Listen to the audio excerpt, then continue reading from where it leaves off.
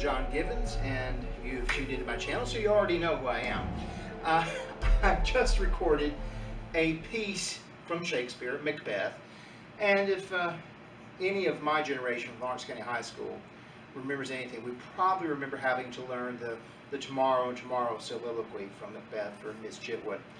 But anyway, today I decided to, you know, go in costume to do the scene as if I was about ready to go into combat, you know, his final battle.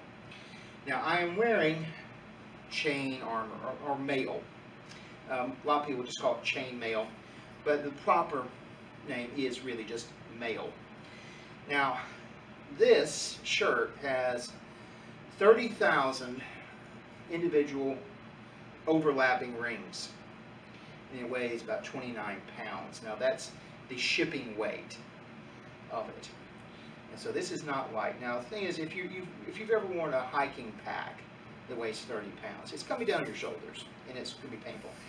This is 30 pounds spread out over my shoulders, supported by my chest, um, by my back. So it's not as bad a wear now. It's still heavy. I won't stand here and deny that. But yeah, anyway. But uh, mail armor has been around since at least the 4th century. Uh, Romans used it.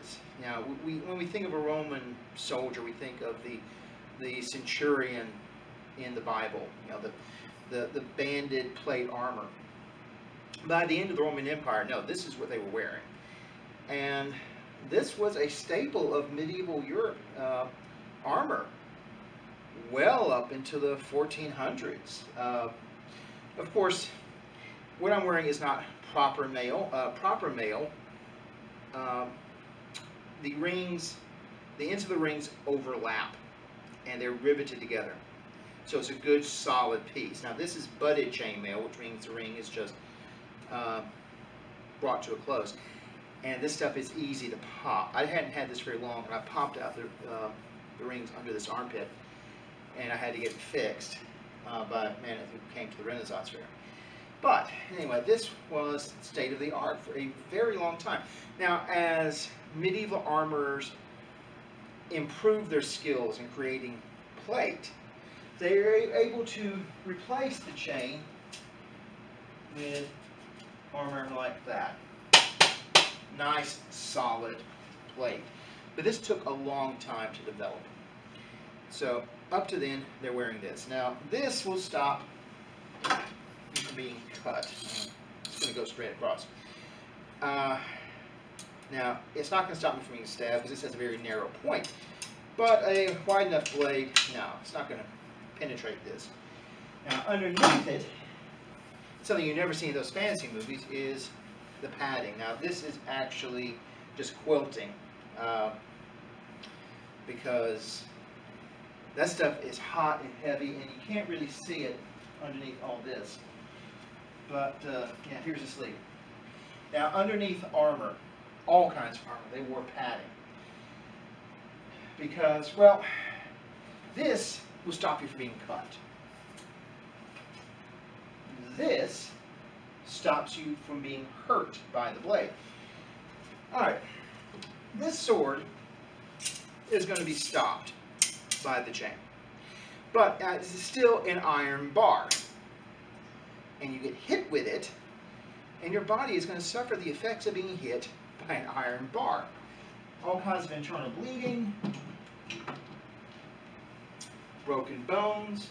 In fact, this particular weapon, its whole purpose is to break bones and to get through this. So, to protect you from the strike itself, you need padding.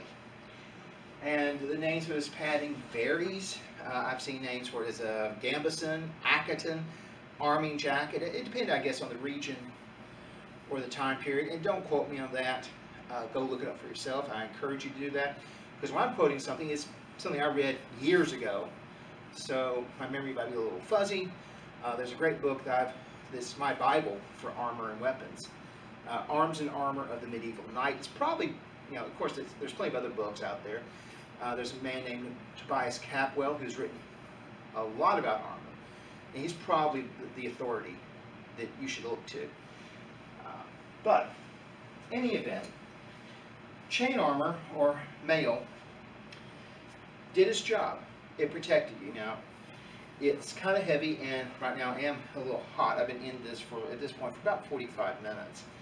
Uh, my, uh, the longest I've spent in this suit of armor, and I have worn it a few times, it's probably about an hour and a half, and uh, I overheated because the materials they would have used in the Middle Ages would have been horsehair or linen or something of that nature.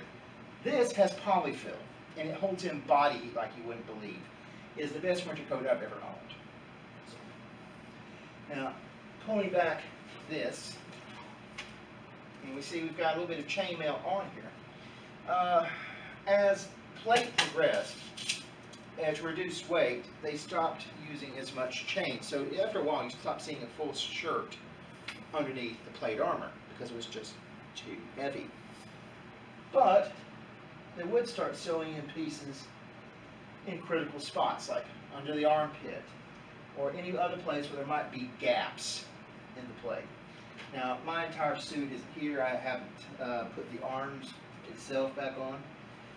But, I mean, this gives you a general idea. And I'm not even going for a suit of armor for a knight with this. This is more like soldier battlefield scavenging. You know, later on we're going to do, I'll do a video on all those pieces. This is primarily just to show you chain armor and to give you an idea of what it was. So, uh, I encourage you to go looking up uh, more about armor, about mail, and other armor systems. Again, we have this full uh, plate. But then there was a, a, a form of armor called the Brigandine. And what it was, it was a vest, an armored vest that had plates inside it. And this was their march up from this to that. So I encourage you, go look it up, learn more about it. So, uh, with those words in mind, stay home, stay safe, and keep learning. Thank you.